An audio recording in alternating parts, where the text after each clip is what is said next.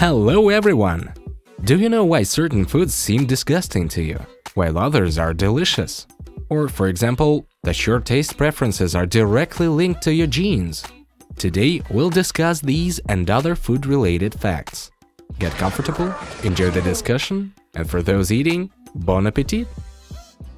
You might think that our upbringing, as well as our cultural and domestic environment, influences our food preferences.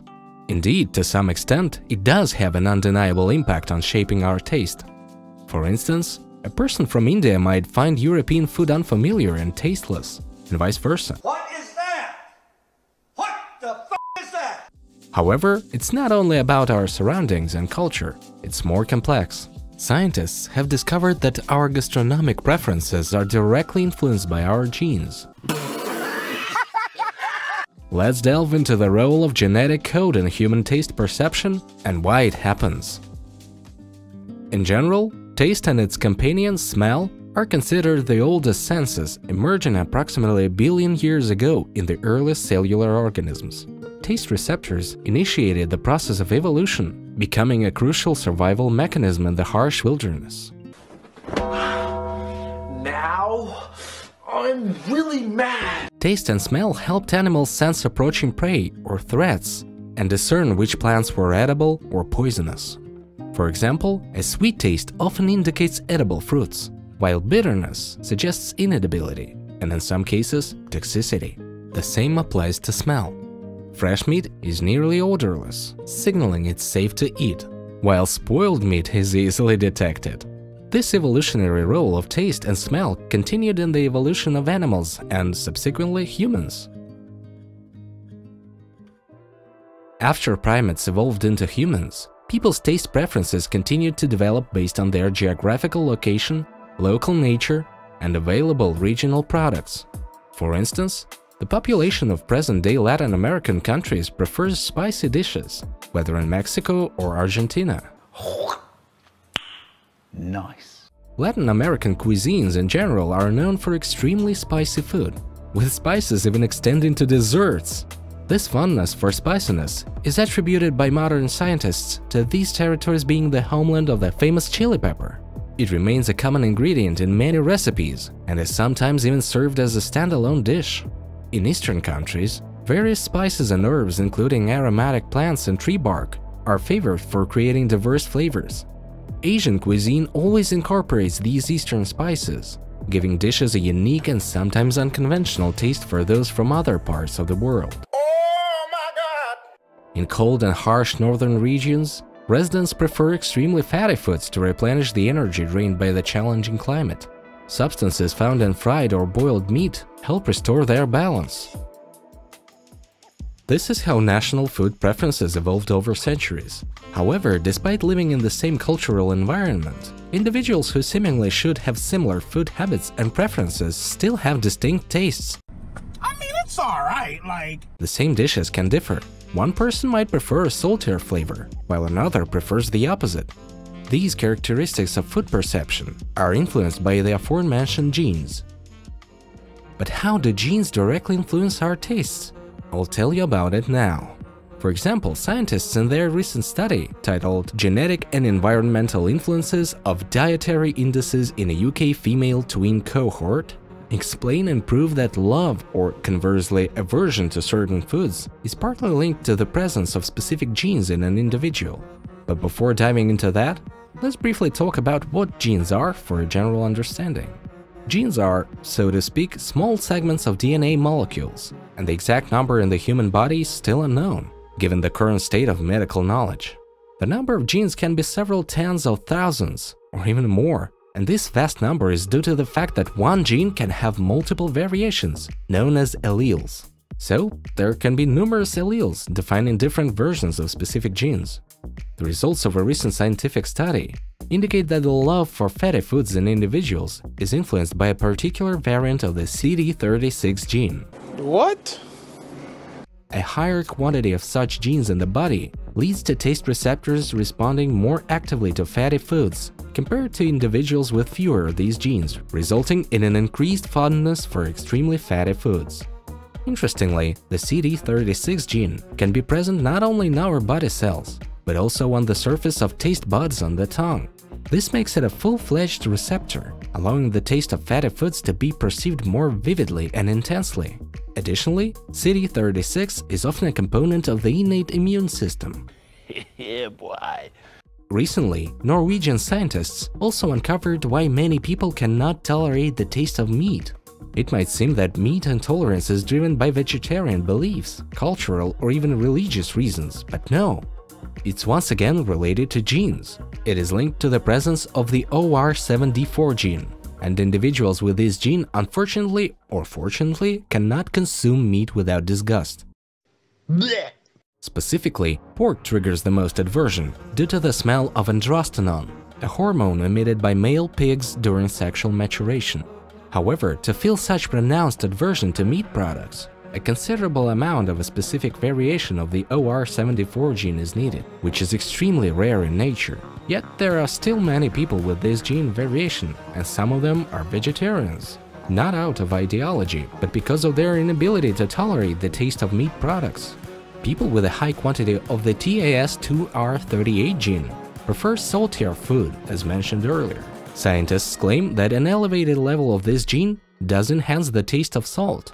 However, other scientists believe that the increased amount of TAS2R38 indicates not a great love for products with high salt content, but rather that individuals with variations of this gene attempt to mask the bitter taste from the other types of food using salty flavors. For example, broccoli can taste bitter in the mouth when the TAS2R38 gene is present in higher amounts, leading many people to opt for less healthy but more palatable food. Some individuals try to counteract bitterness by consuming something sweet, resulting in specific taste preferences. By the way, I want to share an interesting fact. The gene responsible for perceiving bitterness in broccoli or preferring saltier food is the same gene responsible for the bitter taste in coffee, a bitterness that many people enjoy, with some even considering it noble. There's also an important point regarding broccoli. Dislike for it is not always caused by genes. Often, aversion to broccoli arises in people living in regions with insufficient iodine levels. It's quite simple to explain. Broccoli contains neurotoxins that hinder iodine absorption in the body. In essence, the human body signals that consuming this food is not advisable. After this brief interesting fact, let's return to the main theme of the video and discuss sweets. The perception of sweetness and other fast carbohydrates depends on the mutation of the GLUT2 gene. If its function is disrupted or GLUT2 operates incorrectly in your body, the central nervous system reacts to elevated glucose levels in the blood, and as a result, a person consumes too much sweet food. Furthermore, GLUT2 serves as a transporter not only for glucose but also for fructose. If an individual consumes excessive sweets, it can lead to significant health problems, ranging from tooth decay to more serious conditions such as diabetes. This makes the mutation of this gene, or more precisely, its mutation very dangerous for the human body. And what about sour taste? On this matter, scientists have a theory, though it's worth noting that this study was conducted only on rodents. However, researchers assure us that in humans it works approximately the same way as in rodents. You serious? The gene OTOP1 and its various variations are responsible for the sour taste. Mammals with a well-functioning gene and a normal quantity of it sharply react to sour products. In other words, even having variations of this gene in normal amounts may cause, let's say, conditional pain sensations in taste receptors.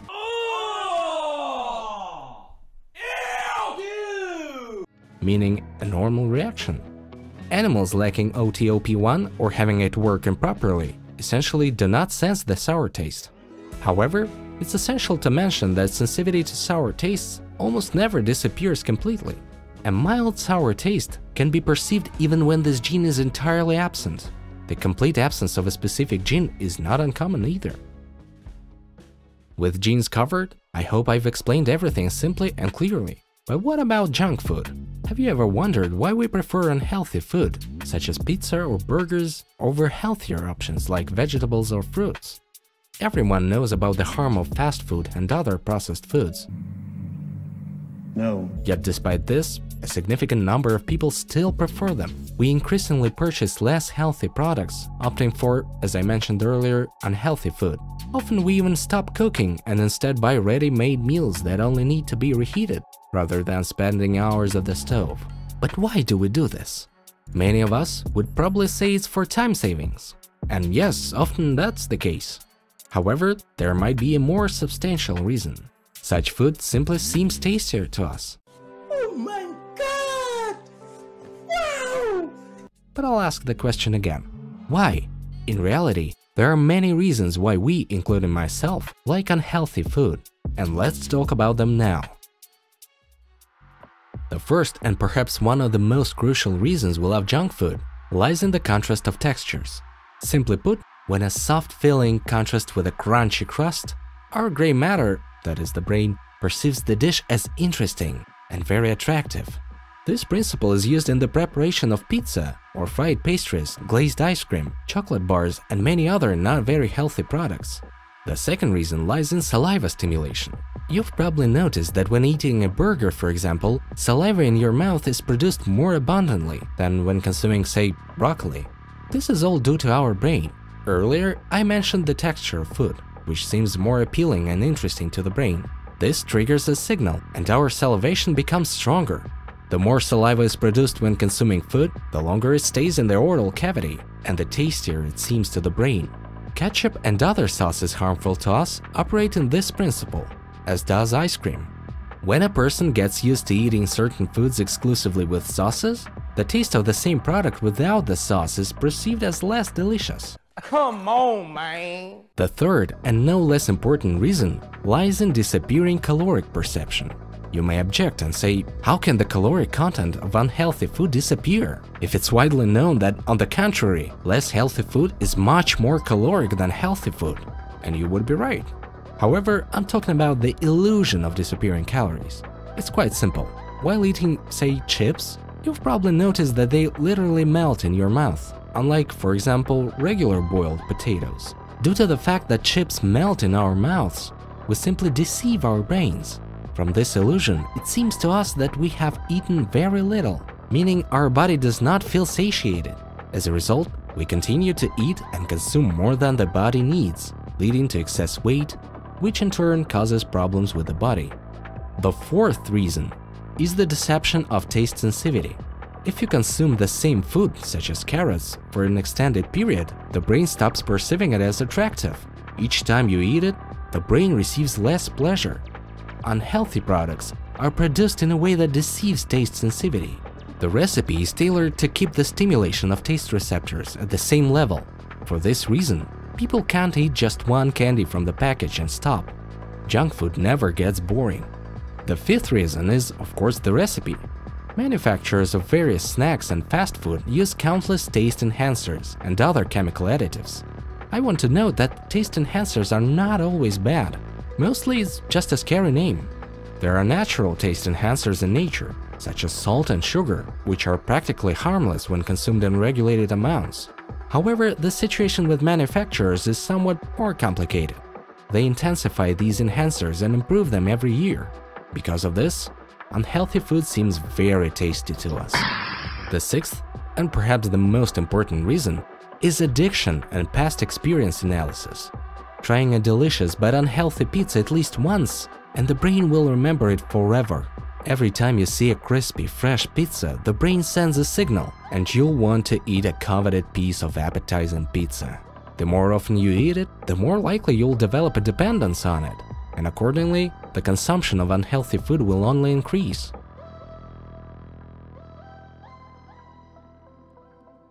Perhaps these six points are the main reasons why we eat unhealthy food. But how can you stop consuming not so healthy food? Refusing unhealthy food is not as difficult as it may seem at first glance. The most important thing in giving it up is the desire. Without it, you won't succeed. But if you do have the desire, let's now talk about how to get rid of unhealthy food. Try not to purchase products with more than 5 components in their composition. The healthiest natural foods have a simple composition, while unhealthy products consist of dozens of components, most of which are not beneficial. Be attentive when buying groceries. As I mentioned earlier, The more often we eat the same food, the more we get tired of it, and it starts to seem tasteless. Unhealthy food doesn't give us that feeling, so try to make your diet as diverse as possible and regularly vary your meals. Different nutritious foods will help you eliminate unhealthy habits. That's all dear friends, now you know much more about food. Eat right. Thanks for watching and goodbye!